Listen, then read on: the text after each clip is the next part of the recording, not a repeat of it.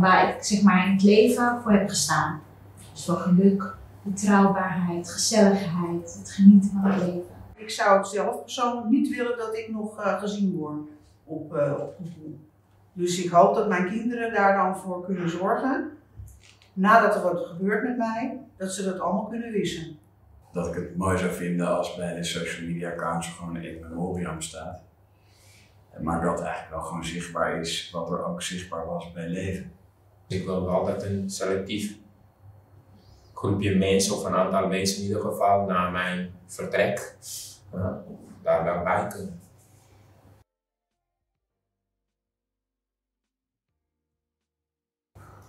Um, twee telefoons, uh, mijn laptop, uh, smart TV, smartwatch die ik niet gebruik. ja, dat een beetje denk ik. Kan je zonder? Ja, telefoon, laptop niet, nee. Kan je zonder gamen? Nee. Ik ben niet online, dus dat bevalt me prima. Als ik dit zo hoor. Nou, Sander, dat cloud verhaal, dat is, uh, dat is me toch echt een dingetje. Ik weet dat het ergens een, uh, in een cloud bewaard wordt. En uh, ik heb het een paar keer, ben ik daar ingelogd op zoek naar gegevens. want ik ben een keer mijn telefoon kwijtgeraakt. En ik had het idee dat ze allemaal in de cloud waren opgeslagen. Maar ik kon niks meer terugvinden. Dus de cloud dat is voor mij toch nog echt een grote vraagteken hoe dat precies werkt. Ja, ik vroeg of je de dropjes bij kreeg, maar dat is niet zo. Nee, maar zegt het jou iets überhaupt? Of de cloud? Zou je weten wat Cloud is wolken.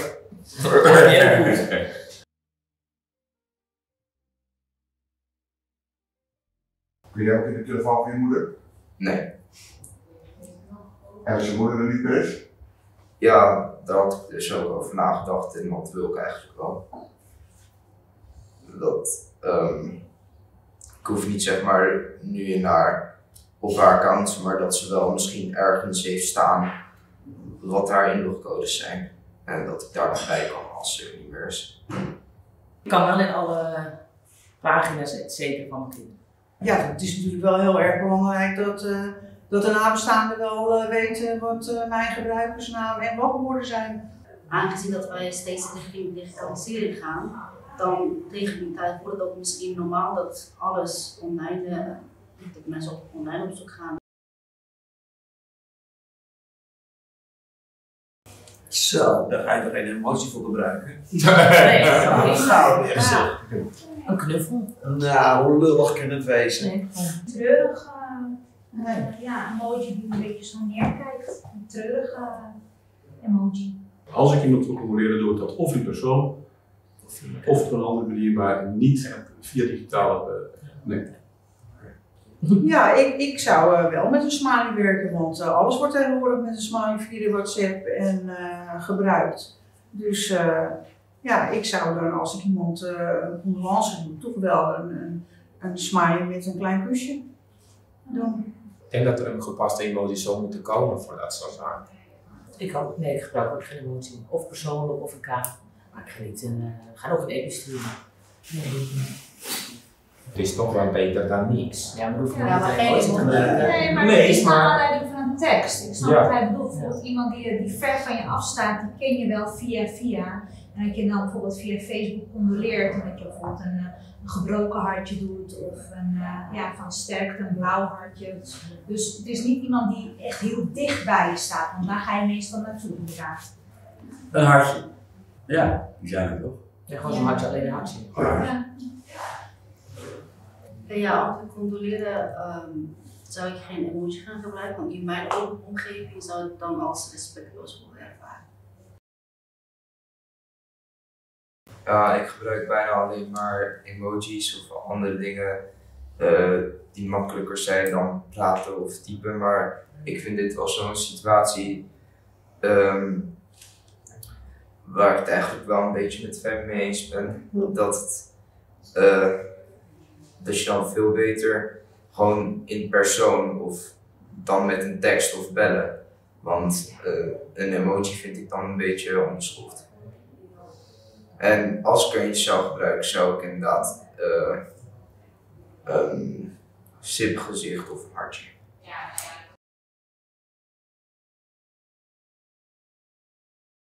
Uh, de wachtwoorden wat we natuurlijk allemaal en gebruikersnamen wat we moeten gebruiken.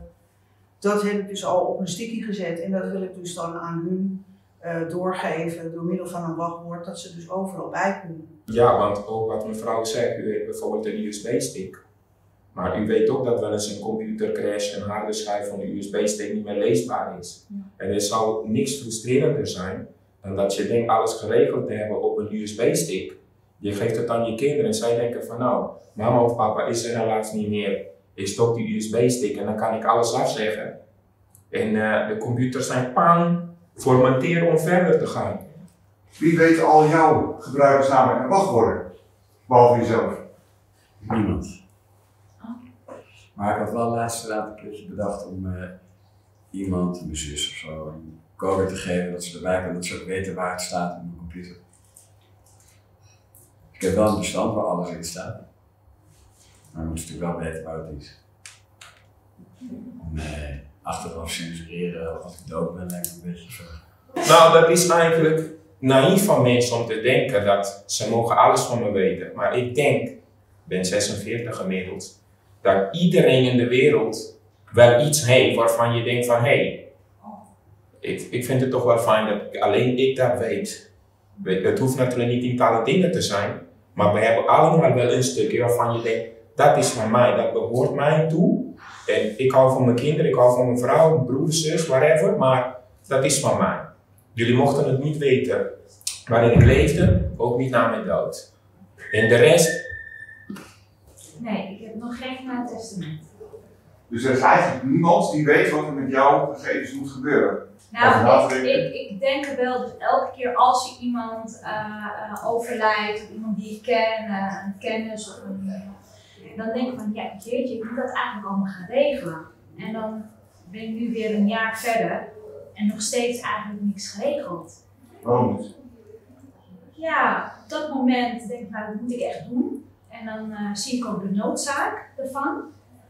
Maar door de drukte van alle dag, ja, vervaagt dat weer wel een testament. Maar ik denk dat net zoals bij 99% van alle testamenten staat daar niets digitaal in. Dat is ook heel moeilijk te omschrijven, denk ik. Uh, ja, mijn dierbare data, het is dan dierbare data voor uh, mijn nabestaanden. En ik denk dat het zich zal beperken tot foto's. En alle administratie en al dat soort dingen, ja, de abonnementen die ik heb, die af moeten gezegd moeten worden. Maar voor de rest, ja, denk ik niet dat iemand al die brieven en documenten gaat zitten lezen, want dat is enorm saai. Omdat sommige mensen toch wel best wel terughoudend kunnen zijn om in de privézaken van andere mensen te duiken. Soms zijn mensen misschien bang om dingen te vinden die, die jij misschien niet wilde dat zij wisten.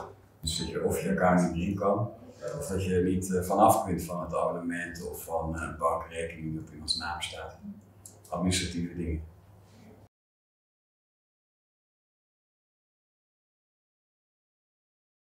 ik heb het gevoel dat zo'n account gewoon niet meer weggaat. En als je dat aanmaakt, um, dat het gewoon voor altijd blijft staan. Wat ik me heel erg aan geïrriteerd ben, nog steeds aan irriteren ben, is um, een opzetting um, die uh, ik met volmacht, volmacht mag je gewoon bij het leven hebben, want macht namens diegene ook anderen. Dat ze zelfs met volmacht die opzetting willen niet doen. Hoe goed ook uitgelegd is, maar ja, we wachten nog steeds op een antwoord. Maar ja, het is zo duidelijk. Maar ze werken gewoon toch niet mee. Uh, ik heb acht jaar geleden mijn man verloren en na vijf jaar kreeg ik nog van de KPN dat ze nog 70 cent wilden hebben. Dus uh, het maakt niet uit wat je opzegt, ze komen er toch alsmaar weer op terug. Het blijft maar doorgaan en dat is gewoon vervelend. Nou, ik denk dat er bij wet is geregeld dat degene die jouw testament uitvoert, dat die ook je abonnementen mag opzeggen. en je, ja, je social media accounts mag opzeggen, dat soort dingen. Maar het is natuurlijk wel lastig om te weten waar dat allemaal is en staat. Dus het zou wel goed zijn dat er iets is waarbij je je wensen kan aangeven. Ja, toch op meer plekken. En dan weet je ook nog niet wat de overledene eigenlijk wil. Dus als die zelf al kan aangeven van alles waar zijn online, waar die online zichtbaar is, wat hij ermee wil. Überhaupt dat ze dat kunnen gaan aanbieden.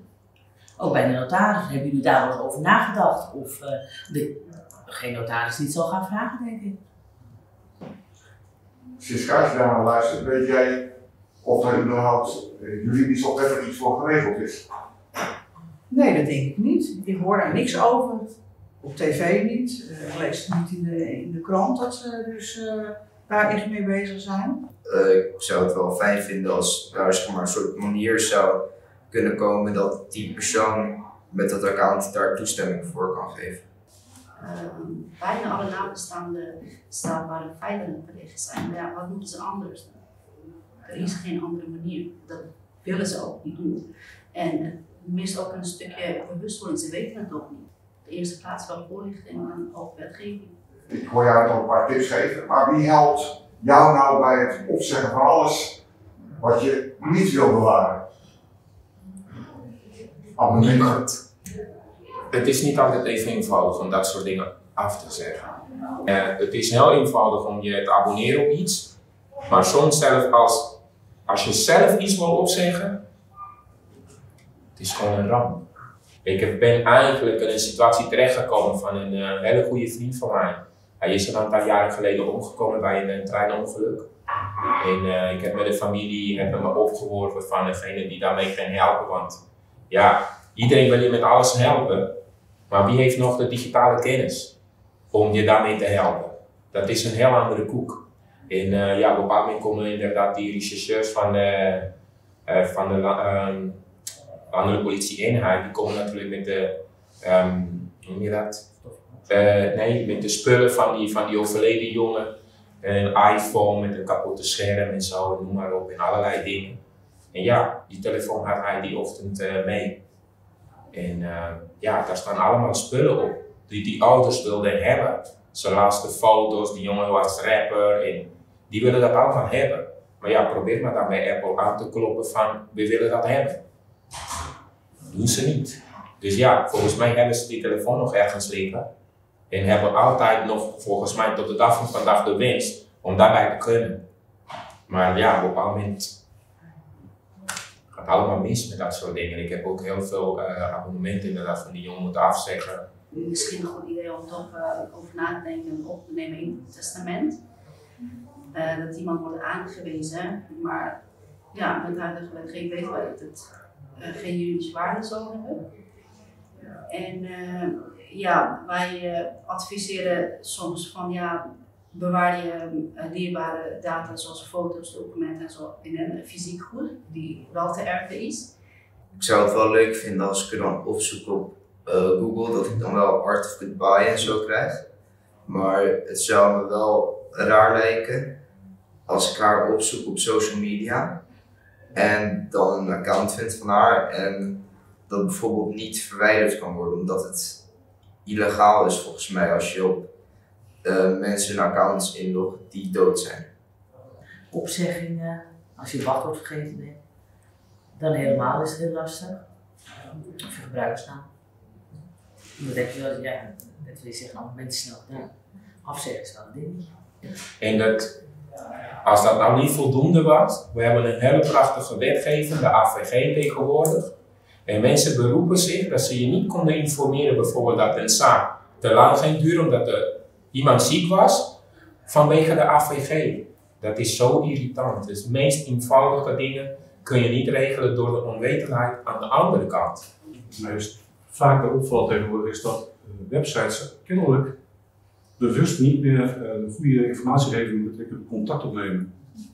En Dat zie je steeds vaker, die, dat de communicatie naar de klant toe eh, gewoon gebrekkig is. Of het zijn verkeerde telefoonnummers, of het is een, een, een e-mailadres wat of niet op staat, of een e-mailadres wat heel erg anders eh, voor bedoeld is. Of bij de veelgestelde vragen zit jouw vraag ertussen en dan is het heel moeilijk om daar contact mee te krijgen. Ik vind het hele slechte communicatie, daar irriteer ik me aan. Dat je alsmaar moet herhalen blijven wat je op wilt zeggen. Dat het nooit in één keer lukt. aantal dingen, abonnementen heb ik afgesloten waar mijn man niet eens weet dat ze lopen. Die zijn er gewoon. En je betaalt ze wel. Ik betaal ze, ja, ik, betaal, ik betaal ze wel. En, eh, maar inderdaad, maar als ik er dan niet meer ben, het blijft natuurlijk gewoon doorgaan. En op een gegeven moment die aanmaningen, die, die, die komen wel.